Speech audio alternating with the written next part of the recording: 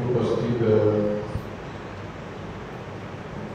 आदरणीय मेरे स्वामी जी सत्संग महानुभाव माता वंदना।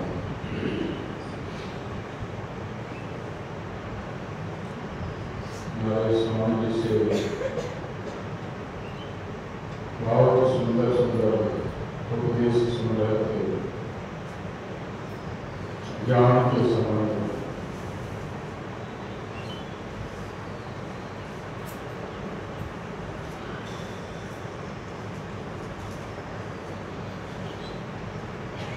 परम आराध्य सदगुरु महाराज ज्ञान को दो भागों में बांटे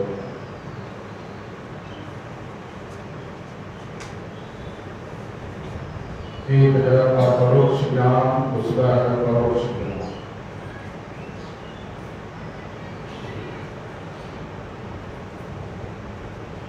अपरोक्ष ज्ञान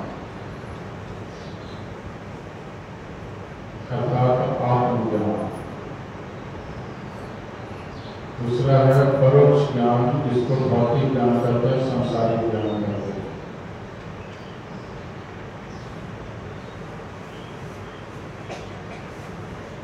संसार में जितने भी प्राणी हैं सबों को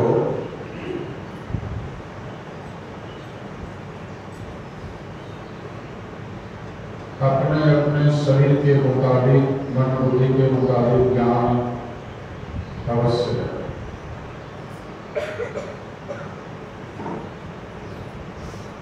बाल बच्चे पैदा करने का ज्ञान, खाने का ज्ञान, पीने का ज्ञान सोने का ज्ञान इत्यादि प्राय सब जीव जंतुओं को है लेकिन आत्मज्ञान जिसको अपरोक्ष ज्ञान कहते हैं।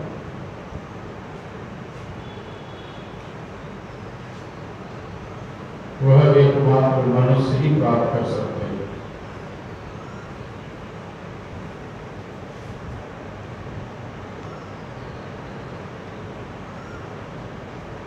आत्मज्ञान कहाँ जाकर प्राप्त होगा? का जो आत्मज्ञानी है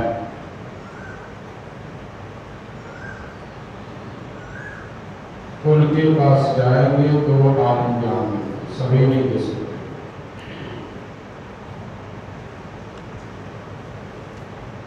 आत्मज्ञानी के समीप हम जाते हैं। तो हमारे अंदर आत्मज्ञान का संचार तो किस तरह से करते हैं। संतों ने कहा सबसे पहले ज्ञान को सुनने के लिए कहते हैं, श्रवण ज्ञान। जब झील से सत्संग को सुनेंगे संतों के वचन को सुनेंगे वे ही कुछ मनन कर पाएँगे श्रवण ज्ञान के बाद होता है मनन ज्ञान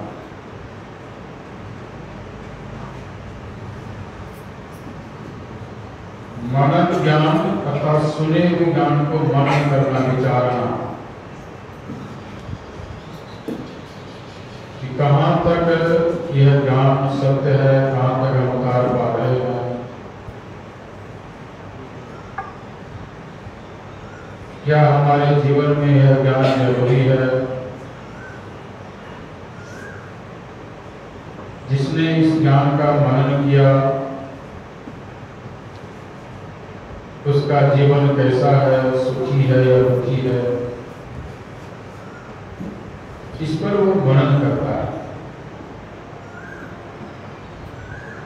मनन करने के बाद उतने में ही अगर छोड़ दे तो वह ज्ञानी पूरा पूरा नहीं हो सकता है। तो निधिध्यासन करता है, जीवन में उस ज्ञान को उतारता है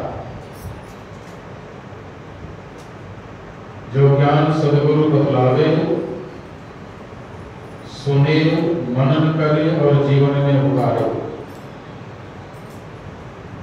तदनुकूल आचरण करे। तभी पूरा पूरा ज्ञान उनको नहीं होता है पूरा पूरा ज्ञान होता है जब उनको अनुभव हो जाता है अनुभव यानी सबसे अंतिम मन पीछे भव में होना सबसे पीछे, सबसे बाद में। सबसे बाद का मतलब क्या होता है? कहाँ जाकर अनुभव ज्ञान होता है? हमारे परम आराध्य सदगुरु महाराज का ने कृपा किए जो पिंड के और ब्रह्मांड के सारे आवरणों को पार कर जाते हुए पिंड में कितने आवरण हैं?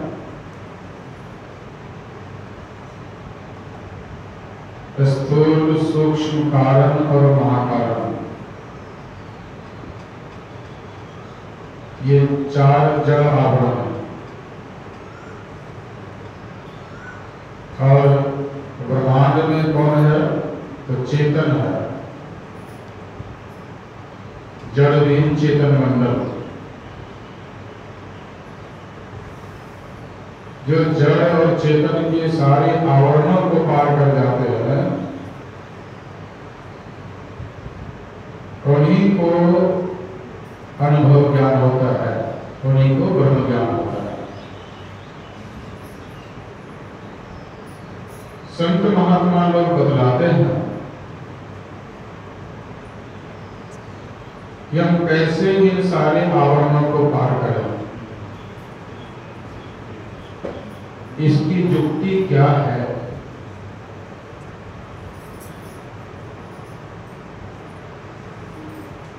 कहाँ से चलेंगे? कौन चलेंगे परमात्मा से मिलने के लिए? आवरणों को कौन पार करेंगे?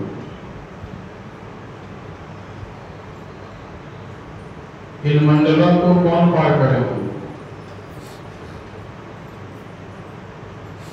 क्या मन पार करेंगे? क्या बुद्धि पार करेगी? चित अहंकार। बाहरी इंद्रियाँ तो सक्षम है ही नहीं, अंदर की इंद्रियाँ भी। अनुभव ज्ञान प्राप्त करने में सक्षम नहीं है। कौन प्राप्त करेंगे।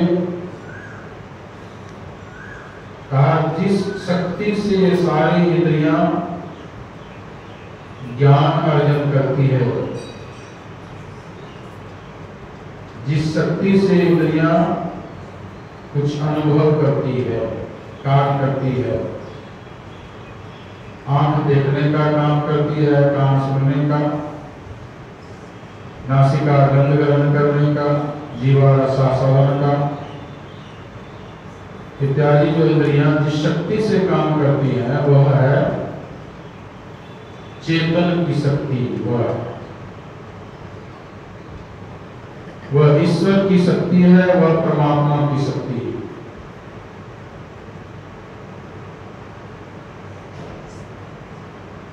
यानी उसको आत्मा की भी शक्ति कह सकते हैं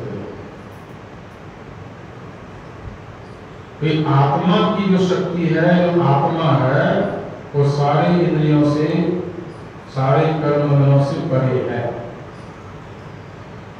वही आपके अंदर में है मौजूद तो ये शरीर कायम है।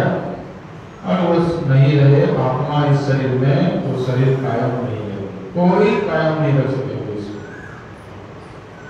आत्मा के निकलने की देर है गुरु नानक देव जी महाराज का कृपा किए एक को घड़ी को नहीं राखत घर पे देख निकाल शरीर से आत्मा निकल जाने पर घर में कोई नहीं रखता तुरंत निकाल देता घर से बाहर। सूरदास जी महाराज का कृपा किए जाबिन मन पंछी उड़ी गई है। तेरे तंत्र वर के समय पाप झड़ जाई जिस दिन, जिस क्षण, जिस पल, जिस घड़ी शरीर से जीवात्मा निकल जाएगी, सारे रिश्ते नाते खत्म हो जाएँगे। और कोई आपके चेहरे को देखने के लिए नहीं आएँगे। मरे हुए के चेहरे को देखने कोई आएँगे आएँगे भी तो थोड़ी ही देर में बस कर देंगे हो गया अब नहीं देखा जा रहा कहा वह कहा वह शोभा कहा रंग रूप दिखाई है जिन लोगों सो नेह है सो तो ही देखी ही है जाबिन मन पंछी उड़ी क्या हो गया कहने का मतलब शरीर में आत्मा है तो शरीर कायम है। यही आत्मा ही परमात्मा से मिलने का एकमात्र अधिकारी है।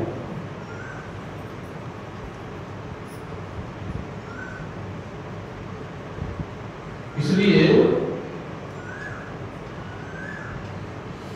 कहाँ से मिलने के लिए आत्मा चलेगी?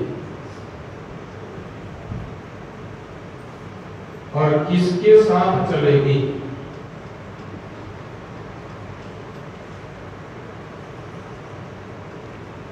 जीव का बैठक इस शरीर में कहा है? क्योंकि ईश्वर अंश जीव विनाशी। ईश्वर का जो अंश जीव है, वह आपके शरीर में है तो शरीर कायम है। वह जीव का बैठक इस शरीर में कहाँ पर है? किस जगह से चलना प्रारंभ करेंगे आप लोग अच्छी तरह से जानते हैं,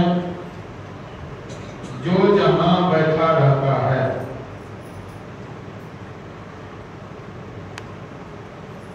जिस स्थान में बैठा रहता है सर्वप्रथम वह उसी स्थान का सहारा लेता है उठने के लिए और फिर वहीं से चलना वह शुरू करता है जैसे कोई पानी में है तो पानी से ऊपर आने के लिए पानी का लेता है और पानी पानी ही उसको चलना पड़ता है। जैसे आप यहाँ आए हैं सत्संग आश्रम में, अपने अपने घर जाएँगे तो सर्वप्रथम आपको सत्संग आश्रम का ही सहारा लेना पड़ेगा। जहाँ बैठे हैं जिस ज़मीन पर बैठे इस ज़मीन का सहारा लेना पड़ेगा। और इसी सहारा को लेकर के आप उठेंगे और इधर आपका घर जाने का रास्ता है, उधर आप मुड़ेंगे ठीक उसी तरह से जीवात्मा जहाँ है इस शरीर के अंदर में, कहा है? कहा वहाँ घोर अंधकार अंधकार में रास्ता दिखाई नहीं पड़ रहा। पहचान भी नहीं हो रही है रास्ते में। कौन है हमारे गुरु महाराज ने कृपा किए।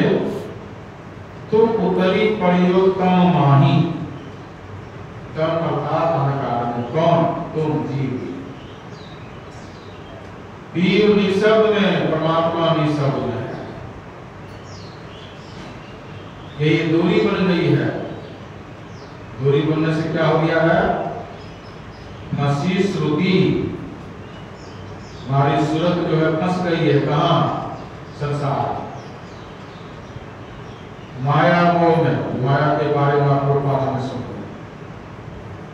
माया मोह में, अज्ञानता में हमारी सूरत फंस गई है फंसी श्रुति।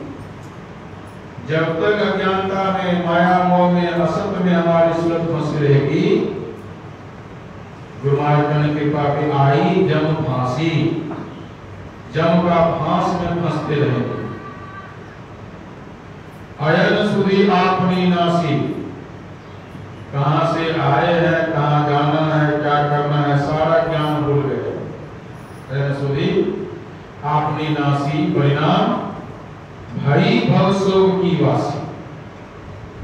भवसोग यानी एक चौरासी लाख जोनी यही भवसोग है यही सबसे बड़ी बीमारी जन्म लेना और बढ़ना ये क्यों हो रहा है? अंधकार में जाने का इसलिए सर्वप्रथम अगर रास्ता देखना चाहते हैं, अपने परमात्मा के पास जाने का तो है अंधकार में तो प्रकाश चाहिए। क्या अंधकार ही अंधकार है।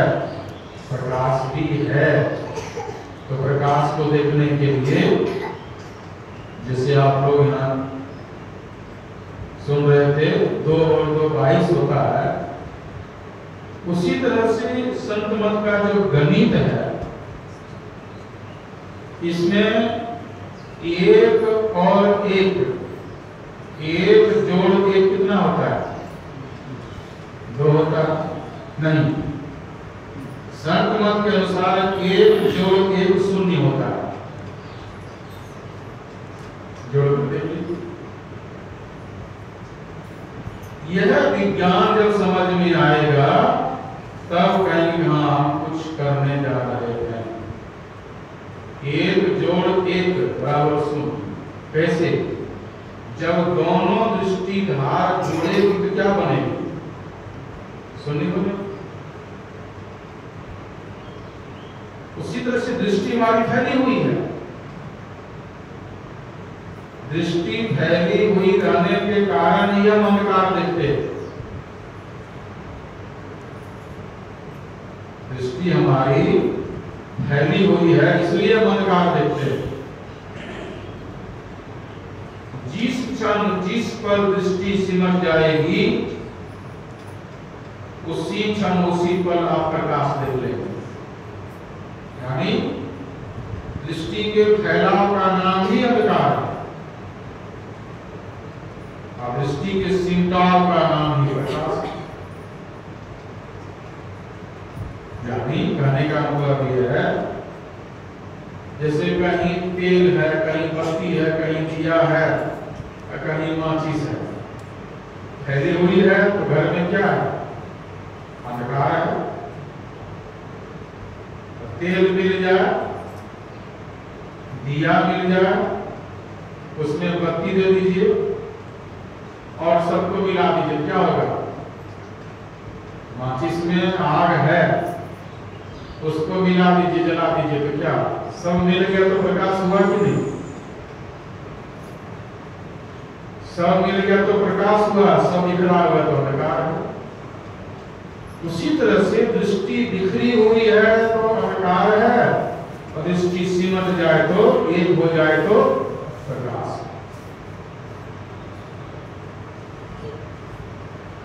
एक करने के लिए ही दृष्टि हमारी एक हो जाए, इसी के लिए पहले ज्ञान को सुनिए। श्रवण ज्ञान। सुन करके समझिए, सुनी समझई मुदित मन प्रसन्न मन से सुनिए।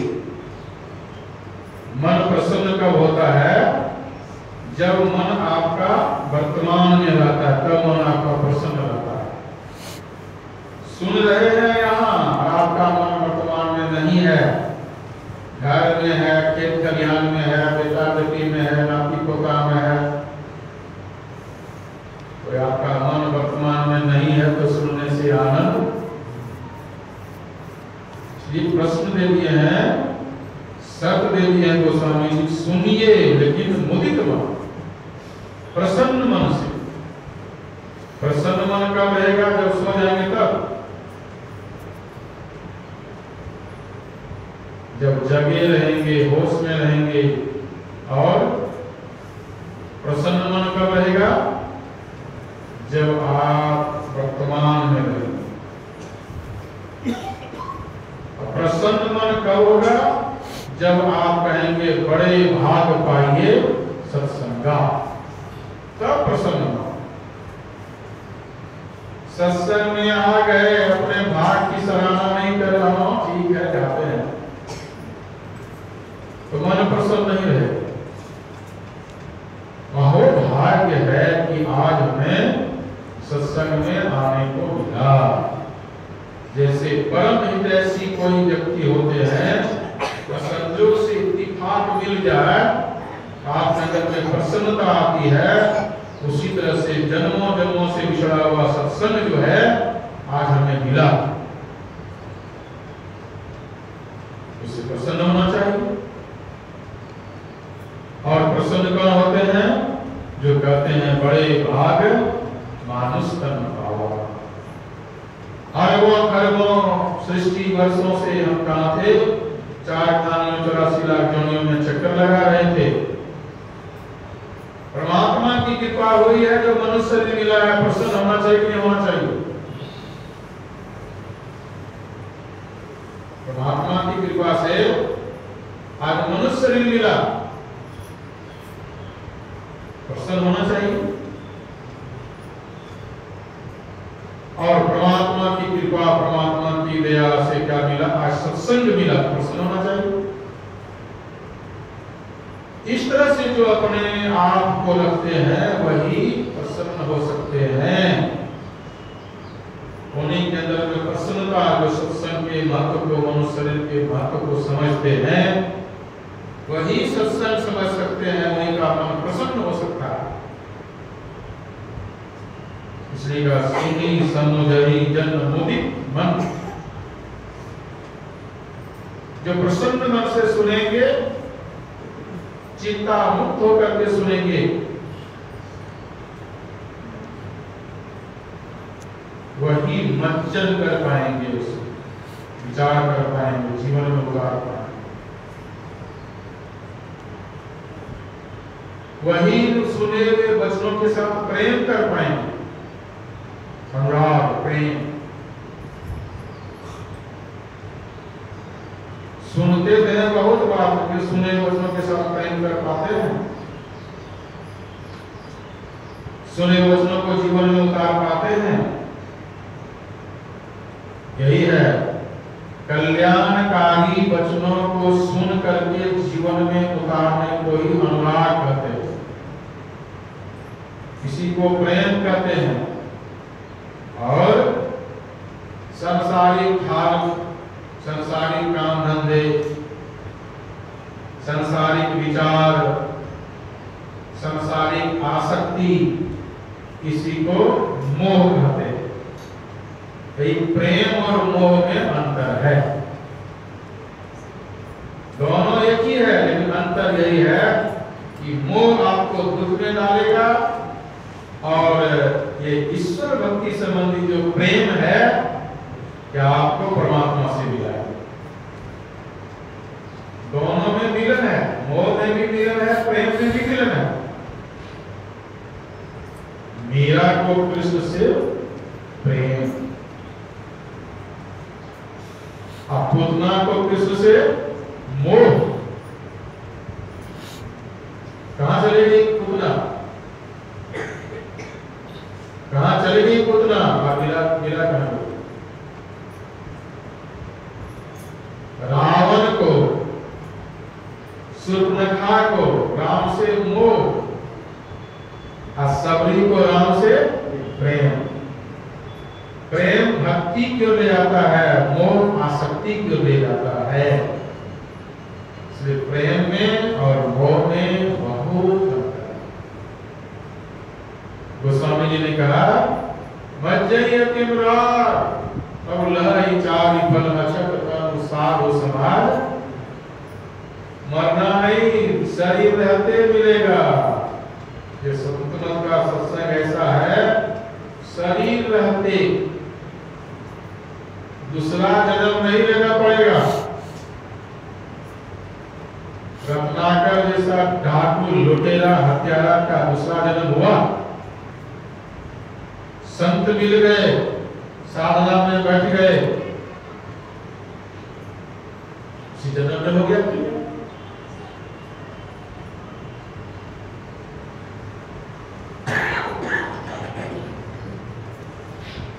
तरह से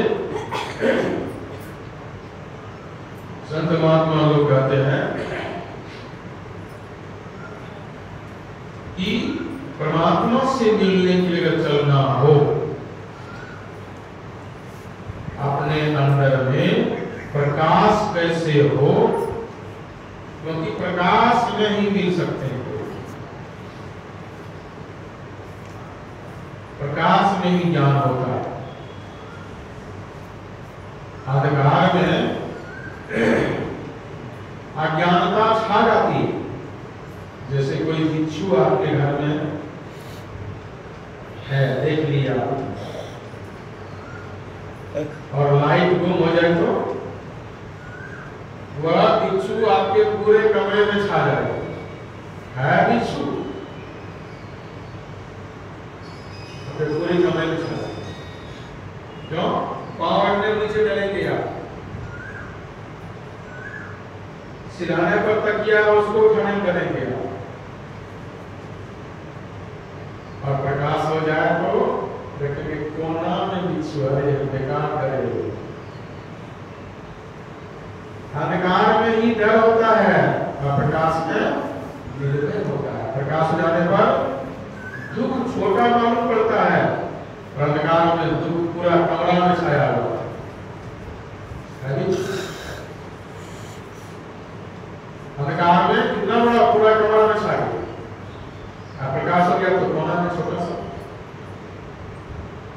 इसलिए अपने जीवन में जो तरह तरह के दुख भोग रहे हैं इन दुखों को अगर छोटा करना चाहते हैं जब ये बाहरी प्रकाश से आपका दुख इतना छोटा हो गया और जो उस ब्रह्म प्रकाश को प्राप्त कर लेगा तो उसका दुख और कितना छोटा हो छोटा क्या हो जाएगा? वो ब्रह्म प्रकाश को प्राप्त कर लेगा तो दुख रहेगा ही। ब्रह्म प्रकाश को प्राप्त कर लेगा तो दुख रहेगा ही नहीं। उसी प्रकाश को पाने के लिए ही कहते हैं, अपने घट दिए ना मारो रे, अपने घट दिया जलाइए। जलाने के लिए ही कैसे जलेगा नाम का तेल सूरत के बाती। नाम जो मिला हुआ है, इसमें अपने सूरत को ख्याल को लगा करके रखिए। यानी हमेशा नाम के साथ रहना ही अंदर में ज्ञान का दीप जलाना है। जैसे घर में दीप जलाए हुए हैं, दीपक का प्रकाश है। अंदर में उस नाम के साथ अपने रखना ही ज्ञान का दीप जलाना इस तरह से हम अपने आप को समझेंगे इसमें तो क्या करेंगे, वो एक बिंदु का आएगी अपने अंदर।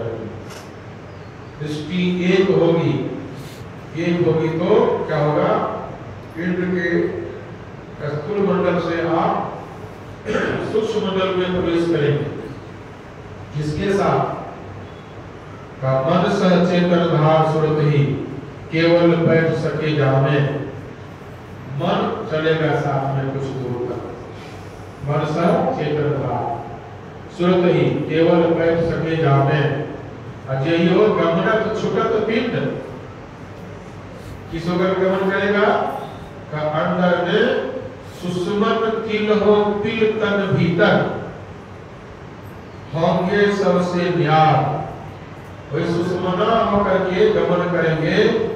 तो कहा सहस कमल दल पार तक पार में मन बुद्धि हिराना उसके बाद प्राण पुरुष आगे चले। इस तरह से हरदर में ब्रह्म ज्योति और ब्रह्म ध्वनि धार करी आवरण सारे कर जितने आवरण अंदर है सारे आवरणों को तोड़ करके सुरत चला प्रभु मिलन को। विषयों से को मोड़कर सुरत चला प्रभु मिलन को मिलने के लिए चलेंगे विषयों से मुख को मोड़कर अंदर भी किसे है? तरह तरह का जो शब्द है, आहत शब्द है, अनाहत शब्द है, यह भी किसे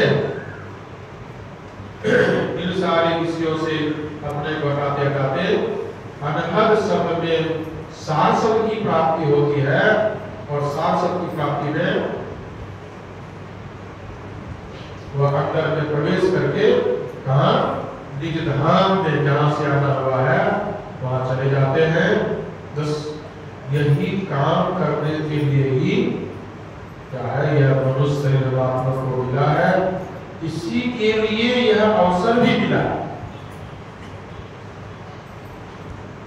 अवसर की प्रतीक्षा ब्रह्मा भी करते हैं। भगवान विष्णु भी करते हैं, भगवान शिव भी करते हैं।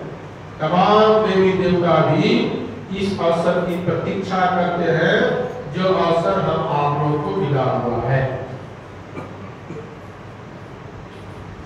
सोचिए कि कितना बड़ा देव दुर्लभ अवसर मिला हुआ है। देव दुर्लभ अवसर का लाभ लेना चाहिए वही आप लोग की सेवा थोड़ा सा सुनाए। बोलिए श्री सदगुरु महाराज की